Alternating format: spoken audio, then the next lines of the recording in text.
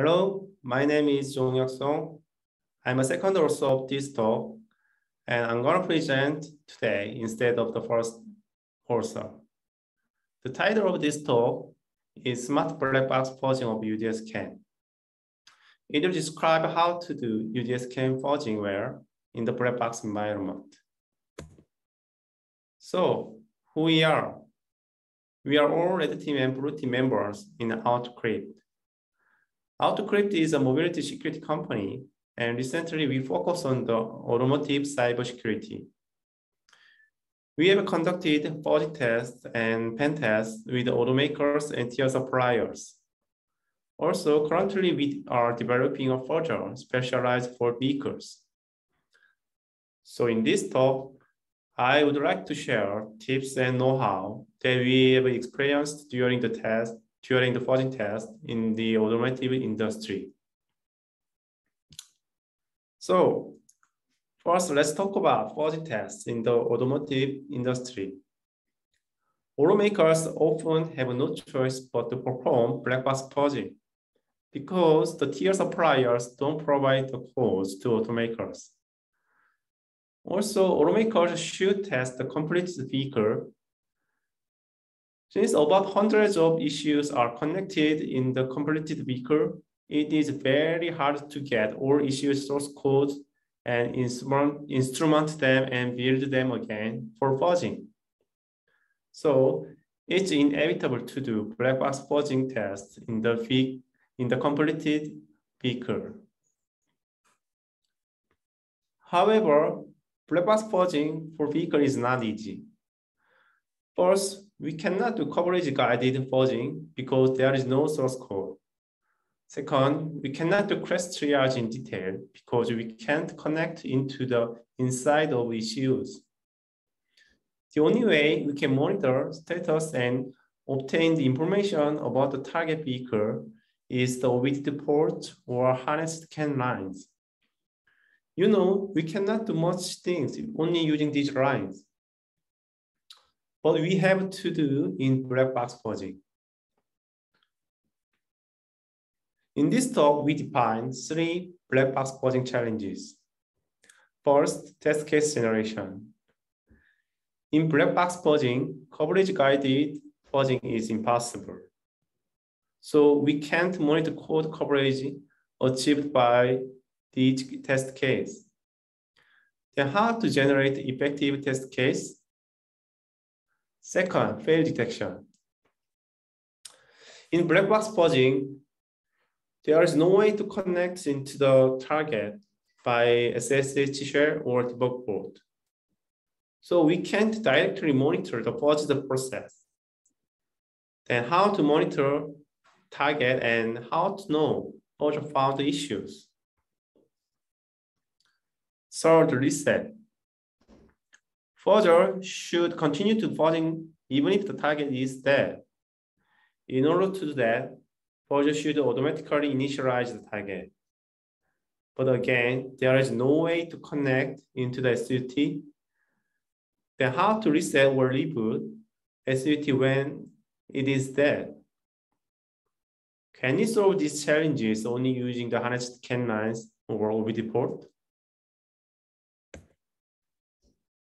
So this talk proposes how to do smart black box fuzzing for UDS-CAN.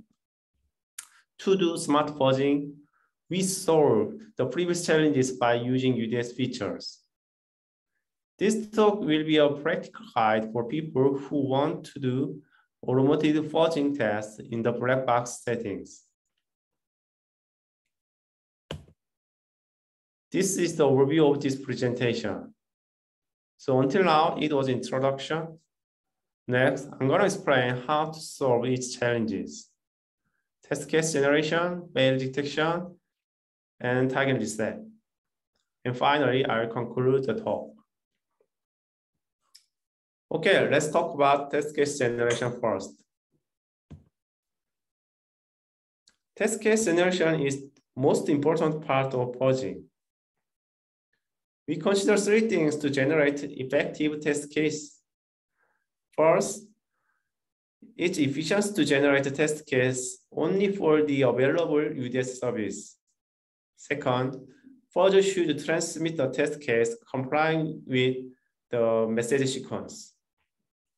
Third, Fuzzer should transmit multiple frames when a test case is large.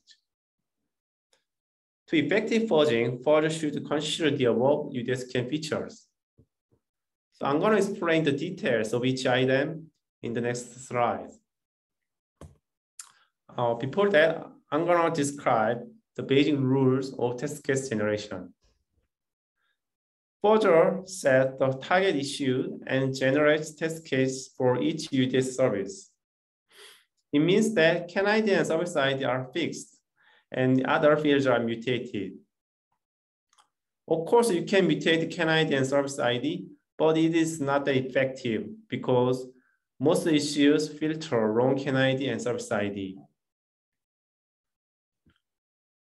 There are 26 services in UDS, and each service has their own service ID. Fuzzer doesn't need to generate and test the all UDS services because not all services are available in the ECU. In my experience, usually about 10 services are available in the ECU. So it is efficient to generate test cases only for the available services in the target ECU and test only them. So before start fuzzing, fuzzer should check the available services on the target.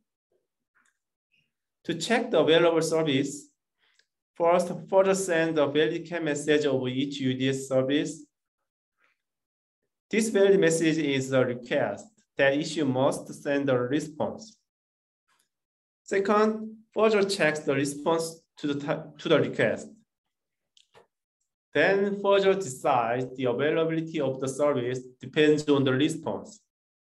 If it is a positive response, the service is available.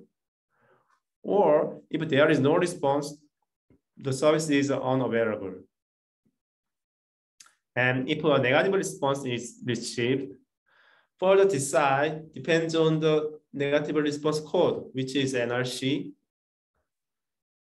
It means that Fuzzer doesn't decide that the service is unavailable, even if the negative response is returned.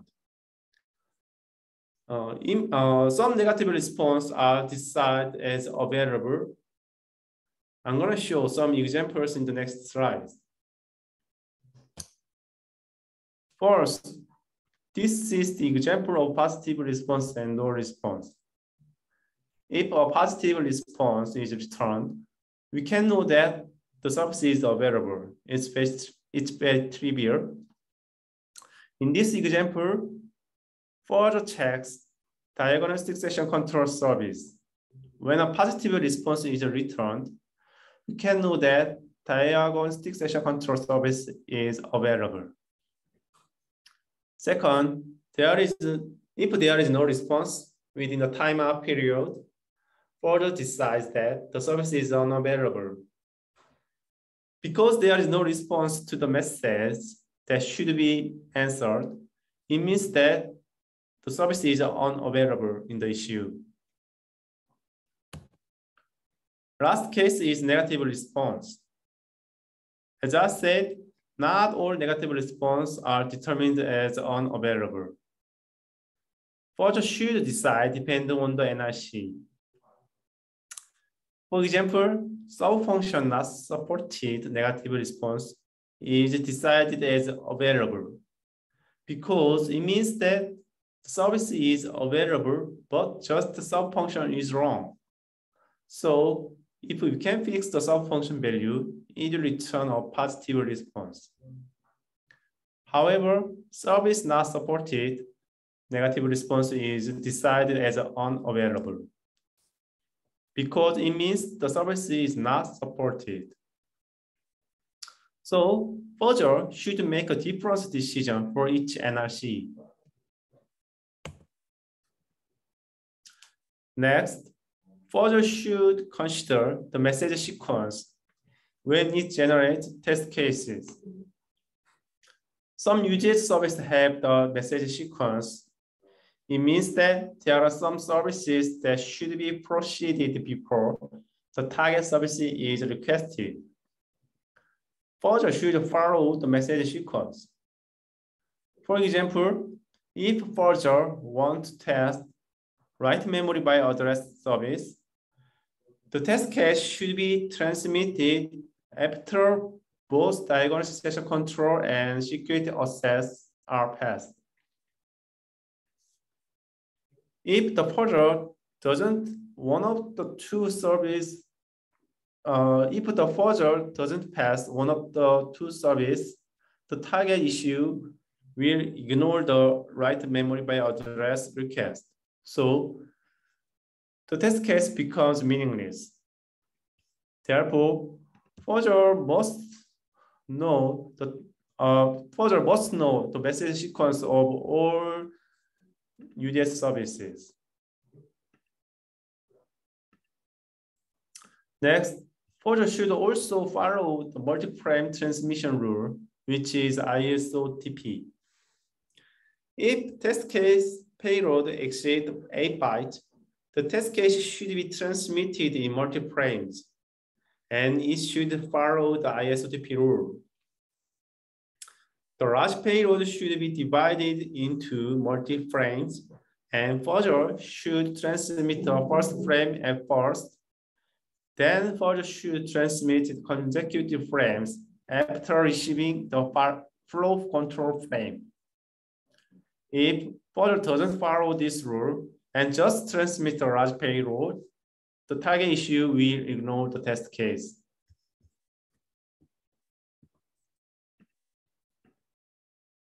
Until now, I talked about test case generation. Now I'm gonna talk how to detect a failure caused by fuzzing test. The fuzzer must decide pass or fail at each time whenever it sends a test case. We introduce four fail criteria. First, no response to the valid request. After test case transmission, Fuzzer sends the valid request to the ECU and check the response. If there is no response within a timeout period, it's a fail. Second, specific negative response to the valid request. If proposal receives some specific negative response to the valid request, it's also fail but not all negative responses are failed. First and second criteria are same with the way used in the service availability check. Third one is a diagnostic trouble code, which is a DTC occurrence. Fuzzer periodically checks whether DTC occurs. If new DTC occurs, it reports as fail. Last one is user specified CAN message occurrence. If, if tester specifies a certain CAN message as failed, the fuzzer report failed when that CAN message occurs. So now I will describe the details of each criteria. First one is no response. Fuzzer sends a valid request after test case transmission to check target state. If there is a positive response, it passed. But there is no response within a timeout period, Fuzzer reports failed. In UDS, the default timeout period is 15 milliseconds. Next, negative response. If there is a negative response to the valid request, fuzzer reports fail depending on the NRC. As it is uh, service availability check, certain NRC are decided as pass, not fail. Uh, this example is the same with the service availability checking. Even if some function not supported, negative response is returned, it passed. But if service not supported uh, negative response return, it's a fail. So fuzzer should decide depending on the NRC. Third one is diagnostic trouble code. If a new DTC occurs, it's fail.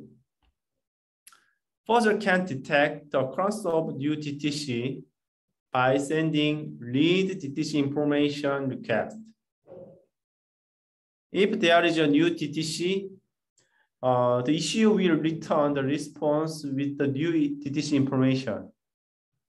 If there is no uh, no new DTC, it's passed, but if there is a new DTC occurs, it will be paid. Last one is user specified CAN message occurrence.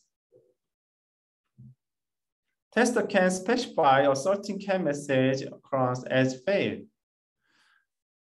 Then if the CAN message occurs, fuzzer reports failed. But there is a precondition to use this method. Fuzzer must be able to monitor the CAN bus that the CAN message to be transmitted. So this example show the overview. For example, when we do fuzzing test to the header unit ECU, we can define the following CAN message across as fail, such as um, brake, brake press or accelerator pedal press, or any other CAN message that have no relation with the header unit and can cause the dangerous situation uh, while driving. Uh, it's a kind of custom rule, so tester just specify some CAN message which are which uh, prohibited occurrence when uh, fuzzing test is conducted. But as I said, it requires a precondition uh, to monitor the occurrence of CAN messages. Fuzzer should be able to monitor the CAN bus. So we will talk about how to detect the fail. Uh, when fail occurs, Fuzzer should initialize the target. Now I'm going to talk about how to reset the target ECU automatically.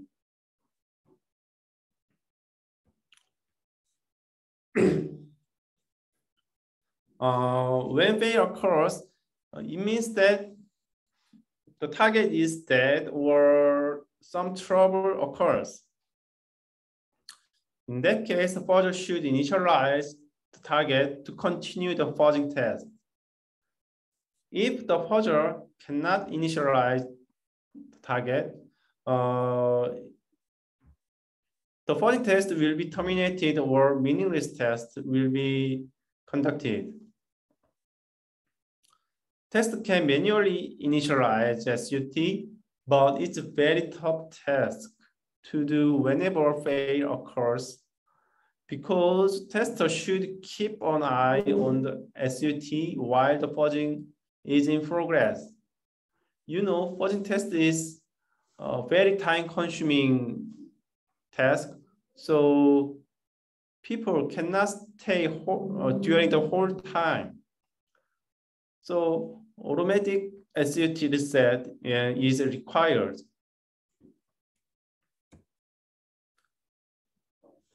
So this is the reset overview. Left figure shows the example when there is no automatic reset, and right one shows the example when there is a reset process.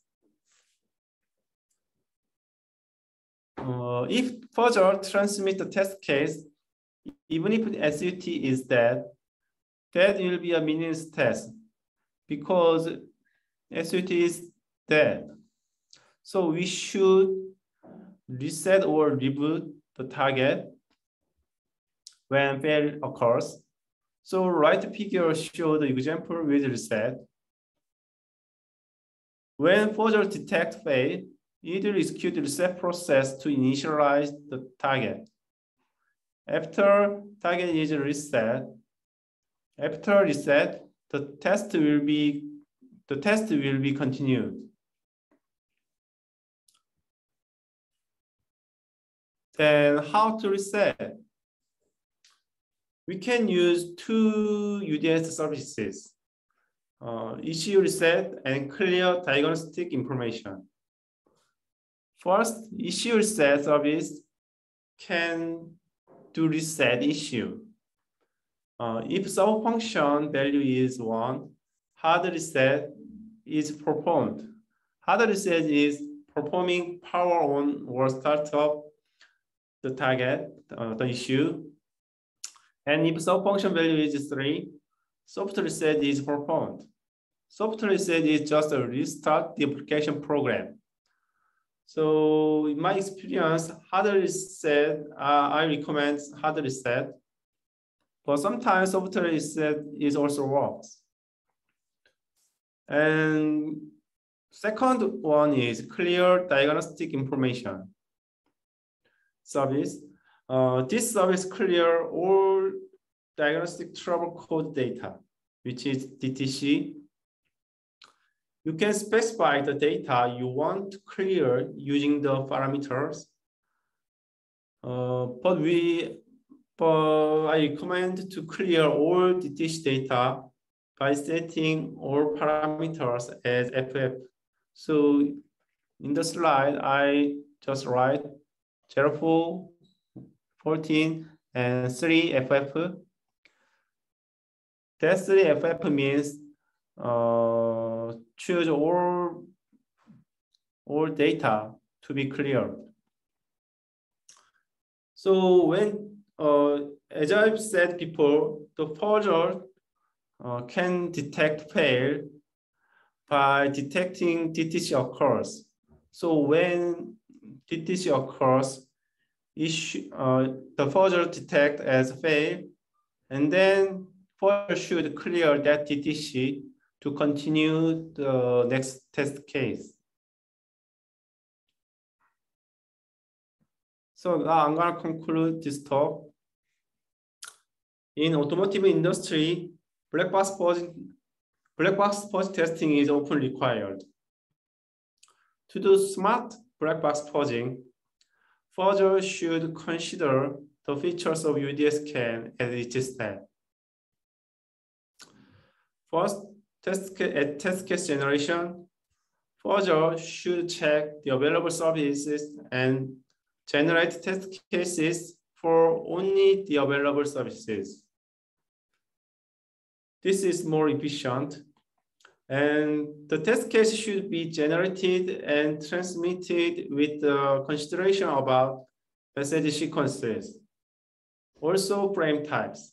If a payload is over eight bytes, the payload should be transmitted in multi-frames.